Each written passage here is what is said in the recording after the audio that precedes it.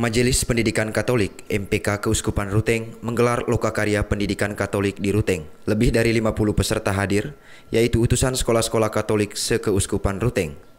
Lokakarya di Aula Evata Ruteng 18 sampai 19 Agustus 2017 dengan tema Penguatan Tata Kelola Pendidikan Lembaga Katolik Keuskupan Ruteng.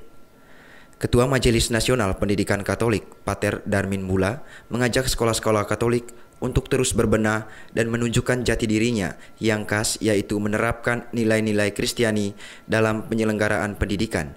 Saya mencoba untuk uh, mengajak mereka untuk kembali kepada jati diri sebagai uh, sekolah Katolik yaitu misi dan identitasnya, kemudian tata kelola dan kepemimpinan, kemudian uh,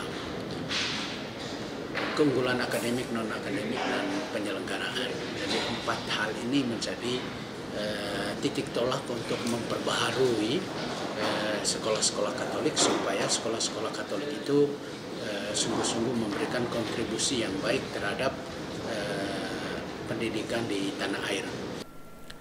Romo Edi Menori, Ketua MPK Keuskupan Ruteng menjelaskan bahwa lokakarya ini ingin menggarisbawahi perbaikan-perbaikan berkaitan dengan penyelenggaraan dan pengelolaan pendidikan Katolik di Keuskupan Ruteng.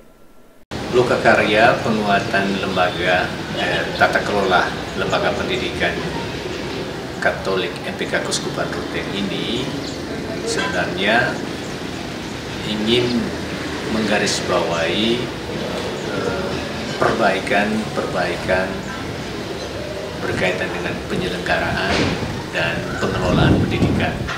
Ia berharap semua anggota MPK di Kuskupan Ruteng mendalami identitas dan karakteristik sekolah-sekolah Katolik. Saya sebagai ketua MPK Kuskupan Ruteng mengharapkan pertama eh, semua peserta atau yang disebut anggota MPK, yayasan-yayasan Katolik dan kepala sekolah-kepala sekolah yang uh, mengabdi di sekolah Katolik uh, pertama memahami roadmap dan uh, kedua sedikit mendalami ya tentang apa sebenarnya identitas dan karakteristik sekolah-sekolah Katolik. Pemahaman dasar ini sangat membantu baik penyelenggara maupun pengelola untuk bisa mewujudkan ya pendidikan Katolik yang uh, merupakan bagian dari kerasulan gereja Katolik, tapi kedua yang berakar pada Injil sabda Tuhan serta berpusat pada ekaristi bisa diwujudkan. Ya. Sementara itu, Bapak Tommy Pinem, staf Wahana Visi Indonesia Cabang Manggarai, menjelaskan kesamaan visi dan misi dengan MPK membuat VVI juga mau bekerja sama dengan MPK.